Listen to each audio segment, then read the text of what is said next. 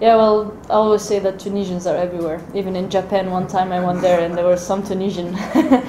um, yeah, well, I hope they can come tomorrow. Um, well, now I'm the Naomi Osaka of Africa. I'm trying to be. Yeah, well, it's uh, inspiring to see um, how players can uh, inspire a, ca- a, country or a continent. So for me, I'm um, I'm really happy to represent Tunisia. I'm trying to give my best.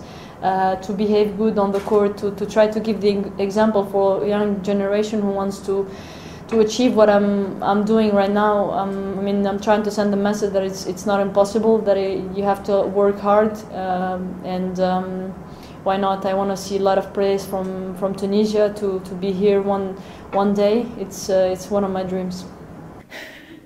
to be honest, I just remember Ons. Like she was just talking to me non-stop.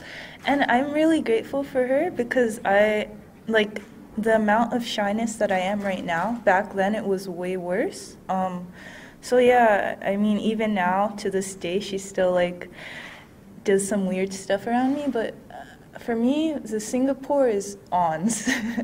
no, I think I need the percentage of prize money now. You think uh, she she break through that? Uh... no, I mean she. I joke with everyone, and she was so so shy. She still is, and um, she she respects me, and I, I love that about uh, any player. And uh, when I see someone shy, I don't leave them alone. That's me.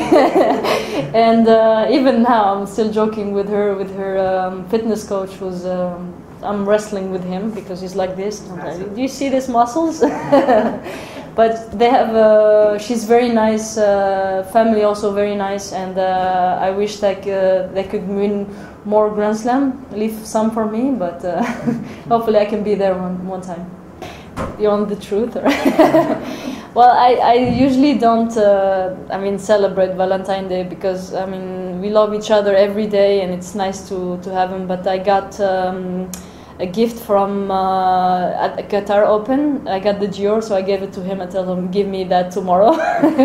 so he was laughing at me, but uh, it, it was nice. Um, we we made a funny video. I don't know if you guys saw it on Instagram.